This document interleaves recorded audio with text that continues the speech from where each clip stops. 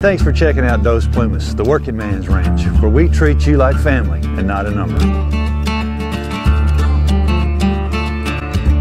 So give us a call or contact us on the website and we'll visit about booking your next hunting adventure.